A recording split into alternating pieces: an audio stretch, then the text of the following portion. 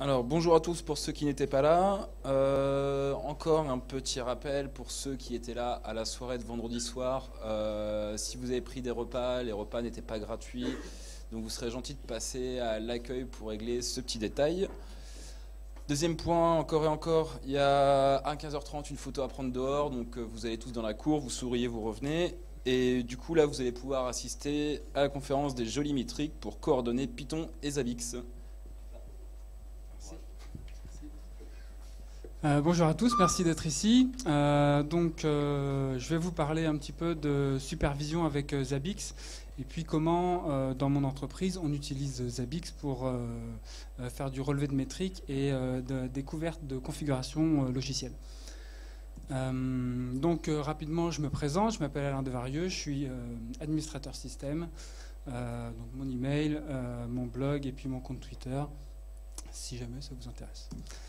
Euh, je travaille au CIB, euh, Santé Informatique Bretagne, à Rennes. On fait euh, principalement du développement de logiciels pour les établissements hospitaliers. On fait également de la diffusion et de l'infogérance pour les établissements hospitaliers et de l'hébergement de données de santé dans un data center, dans notre data center qui est à Rennes. Et donc moi je suis administrateur système dans ce cadre. Je fais donc un petit peu d'administration système, du réseau, également du stockage, et puis bah, on essaye, tant bien que mal, de, faire tenir tout ça debout. Euh, avant de vraiment commencer euh, à parler euh, Python, je vais vous présenter rapidement les outils qui sont mis en œuvre. Donc voilà l'architecture ici et les différentes solutions logicielles qui sont impliquées. Euh, donc au, milieu, on a le, logiciel de supervision Zabbix.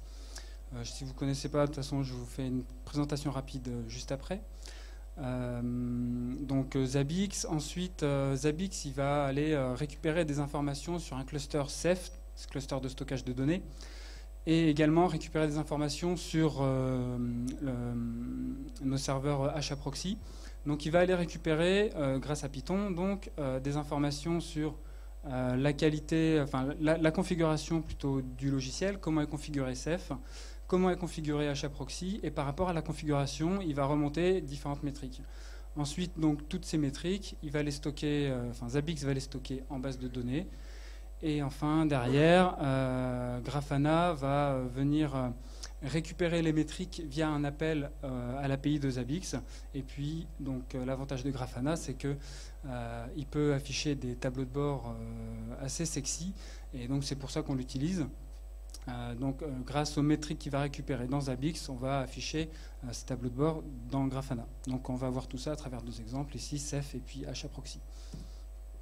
Donc, Zabbix, si vous ne connaissez pas, c'est un outil de supervision, un petit peu comme Nagios Centréon avec euh, plus de fonctionnalités, notamment une fonctionnalité nous, qui nous intéresse beaucoup, c'est euh, celle de découverte automatique. Donc euh, si c'est configuré correctement, il peut, sur, un, sur un serveur quelconque, que ce soit une VM ou un serveur physique, découvrir quelle est, quelle est la liste des file systems, découvrir automatiquement les cartes réseau, remonter ensuite les états des file systems et des cartes réseau. Si vous utilisez Nagios Centreon, vous savez à peu près de quoi je parle. Si, euh, si j'utilise Nagios et Centreon et que j'ajoute un nouveau file system sur un serveur, je suis obligé d'aller dans Nagios Centreon et de lui dire bah voilà, j'ai rajouté un nouveau file system, monitor-le pour moi s'il te plaît et lève-moi des alertes s'il y a besoin.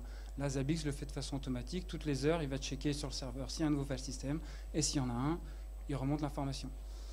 Euh, une autre fonctionnalité qui nous intéresse beaucoup, c'est la fonctionnalité de découverte euh, VMware, donc qui se connecte sur notre vCenter. Et de là, il peut remonter automatiquement toutes nos machines virtuelles. Donc on a à peu près 1000 VM chez nous. Euh, donc on ne peut pas se permettre, à chaque fois qu'il y a une nouvelle création de VM, de créer l'hôte manuellement dans Zabbix. Donc là, l'hôte est remonté automatiquement et de façon automatique, on a un monitoring bah, CPU, RAM, disk. Et ensuite, suivant l'applicatif, on va pouvoir euh, déployer les templates nécessaires. Et enfin, euh, j'en parle euh, également, contrairement à Nagios Centreon, pas besoin de, redémarrer le service quand on ajoute un nouvel hôte ou une nouvelle supervision. Grafana, quant à lui, c'est à la base, donc là c'est pour faire de l'affichage de tableau de bord. Si vous connaissez Canopsys, c'est un petit peu similaire. à la base, c'est une surcouche à graphite. Donc, graphite qui permet également, avec des time series database, d'afficher des, métriques de façon un peu, un peu sexy. Grafana le fait encore mieux avec, en plus, une fonctionnalité nous, qui nous intéresse, c'est qu'il euh, y a une fonctionnalité de, playlist. Donc on peut créer différents dashboards pour monitorer nos différents services, afficher des graphes sur nos services. Et une fois que tous ces différents dashboards sont créés, euh, on peut mettre en place une playlist et donc sur un grand écran qu'on va mettre dans notre bureau, on va faire défiler cette playlist et avant même que euh, Zabbix lève une alerte sur une application qui ne fonctionne plus correctement, on peut éventuellement voir que l'application euh, ne réagit pas correctement, même si elle n'est pas encore tombée, par exemple. Voilà pour ça. Euh, maintenant, on va aller un petit peu euh, voir le monitoring Ceph. Donc Ceph, si vous ne connaissez pas, c'est la partie, c'est la partie stockage d'OpenStack. donc c'est du stockage distribué, donc on a un certain nombre de nœuds. Chez nous, on a 16 nœuds Ceph. Donc plus, vous avez de nœuds et plus votre stockage sera performant parce que vous allez euh, pouvoir ajouter des axes de lecture-écriture. Donc euh, en gros, à chaque fois que j'ajoute un nœud, j'ajoute du stockage, j'ajoute du compute, j'ajoute de la RAM et tout ça euh, fait que bah, plus j'ai de nœuds, plus mon stockage est rapide. Et en plus, comme j'ajoute également des, des, caches SSD, je gagne encore en performance. rapidement sur comment fonctionne un cluster Ceph. Donc d'abord j'ai mon, mon Cluster là qui est en bas, euh, qui représente euh, la somme de tous mes nœuds Ceph. Au-dessus, ça va être des pools. Un pool, c'est une façon de stocker une donnée. Par exemple, je peux lui dire, euh, bon, le pool A, je veux que la donnée soit, répliquée deux fois pour que si je perds un nœud, j'ai encore une autre copie sur un ou des autres nœuds. Et euh, je peux avoir un autre pool sur ce même cluster où je vais lui dire la donnée pour ce pool-là, je veux qu'elle soit répliquée trois fois parce que dans le contrat avec mon client, c'est défini comme ça. Euh, au-dessus du pool, il y a les images RBD. RBD, c'est le Rados Block Device. Ça va être la façon d'accéder à la donnée dans le pool. Donc pour euh, accéder, pour que ma libre Rados puisse écrire dans un pool, elle a besoin d'accéder à une image RBD que je vais créer. Et cette image, je vais lui donner une taille. Euh, cette taille peut être la taille de l'image que je vais configurer peut être supérieure à la taille du pool, ce qui fait que je vais pouvoir faire de la surallocation et ensuite augmenter mon pool de façon incrémentale au fur et à mesure que mon client remplit son image RBD. Donc maintenant, on va voir rapidement comment on va pouvoir, avec euh, Python, euh, découvrir automatiquement la configuration du cluster Ceph. Donc, alors là, évidemment, c'est tout petit.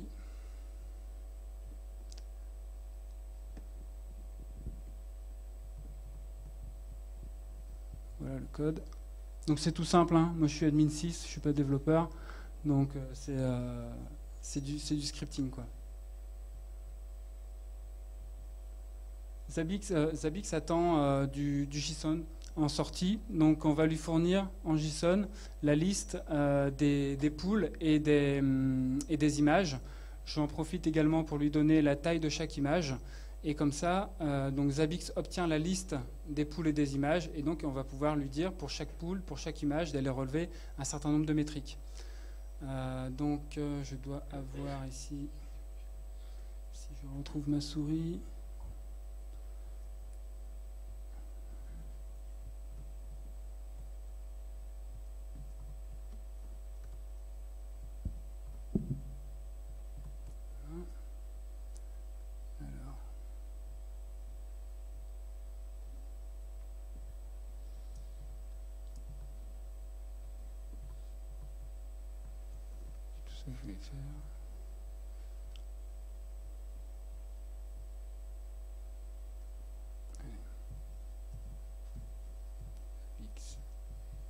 Donc là, je vais aller requêter euh, mon, serveur Ceph, ma gateway.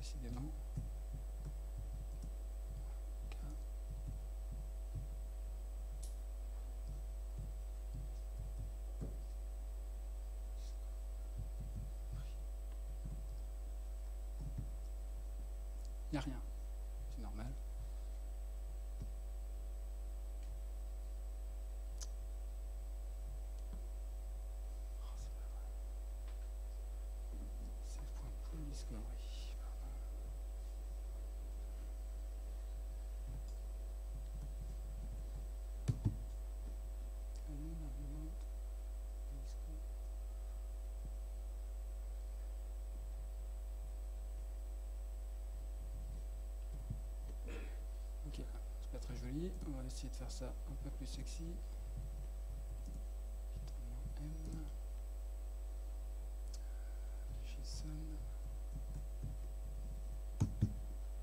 Voilà. Donc là, euh, on a reçu donc euh, les poules, les images et la taille euh, de l'image dans le pool.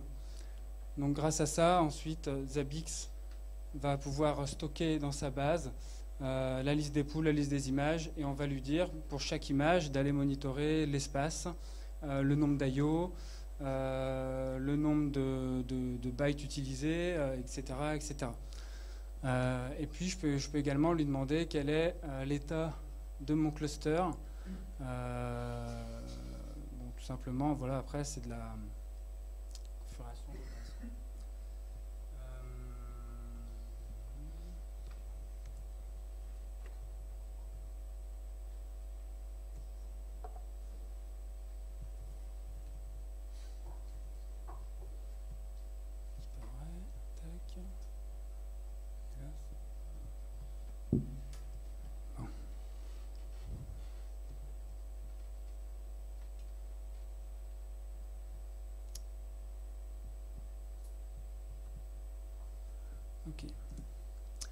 Maintenant, HAProxy. HAProxy, vous connaissez tous.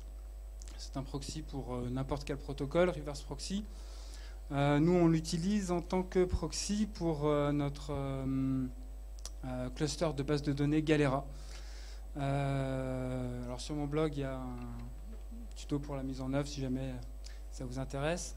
Donc ici, HAProxy reçoit les requêtes depuis les différents serveurs applicatifs qui sont en frontal. Et ensuite, il distribue les requêtes sur euh, les différents nœuds euh, MariaDB Galera. Euh, on utilisait auparavant un cluster MySQL. le principal inconvénient de ce cluster, c'est qu'il y avait un seul nœud qui était en lecture-écriture et ensuite deux nœuds en slave. Le problème, c'est que si le master tombait, il fallait qu'on aille sur le proxy MySQL pour lui dire que le nouveau master, c'était le nœud numéro 2, par exemple. Du coup, on perdait tout l'avantage euh, du achat. Donc c'est pour ça qu'on a switché vers la solution euh, MariaDB Galera avec un nœud qui est en, lecture-écriture. Les trois, les trois machines sont en lecture-écriture. Et achat proxy euh, également va aller checker l'état de chaque nœud afin de pouvoir arrêter d'envoyer des requêtes si jamais un nœud tombe. Donc là, même façon, découverte des front-end, euh, découvert des back-ends et euh, relevé des métriques. Voilà, pareil hein, que tout à l'heure, euh, c'est vraiment du scripting de base. et puis donc on va relever différentes, différentes ce qu'on a besoin d'avoir, c'est l'état du front-end HAProxy, l'état du back-end, et l'état également de chaque nœud indépendamment.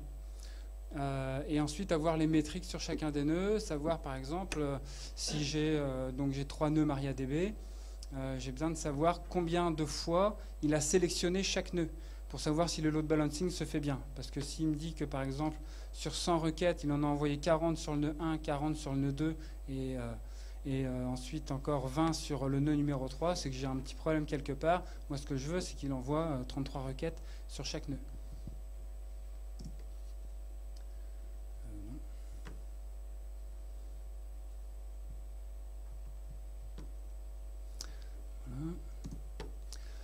Et ensuite, donc avec tout ça, une fois que Zabbix a ingéré toutes ces données, avec les différentes métriques qu'il a pu récupérer, on va, euh, via un plugin pour Grafana, qui va aller via l'API de Zabbix, interroger Zabbix directement pour afficher les données. Alors Grafana ne stocke pas les données, jamais. Il ne, vient, il ne les récupère pas, il ne les met pas dans sa base. À chaque fois qu'il en a besoin, il va les lire dans la base de Zabbix. Donc là, par exemple, pour Ceph,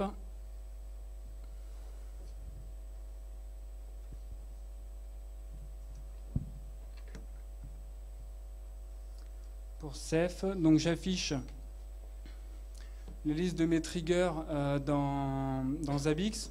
Donc la liste des alertes, bah là c'est cool, il y a zéro alerte. Mes deux clusters Ceph sont OK. Euh, j'ai euh, les entrées-sorties en bits par seconde. Et puis j'ai l'état de, mes de mes placement group Ceph. Donc bon, là c'est vraiment des données particulières, particulières à Ceph. on a également...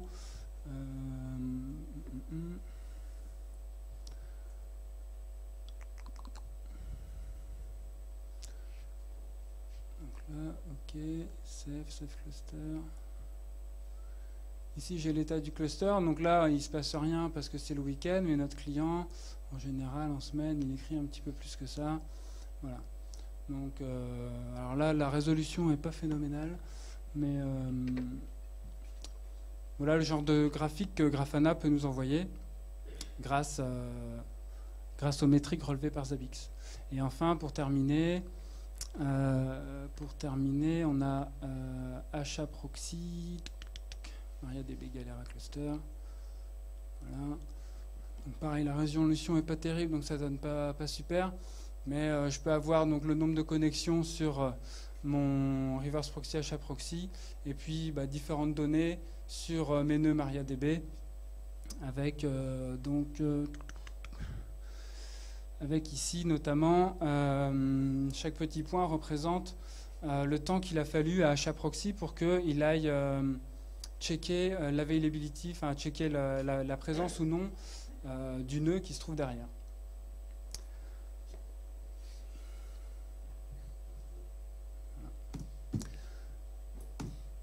Voilà, c'est la fin. Juste pour vous signaler, le jeudi 17 septembre, il y a un groupe Meetup qui a été créé. Donc le jeudi 17 septembre, il y aura un Meetup Rain Monitoring. Ce sera au CIB de 9h30 à 12h30. Donc il reste quelques places. Si euh, le monitoring est quelque chose qui vous intéresse, n'hésitez pas à, vous inscrire et puis venir faire un tour. On parlera notamment de Zabbix et des nouveautés de la version 3.2 euh, de Zabbix qui est sortie cet été. Je vous remercie.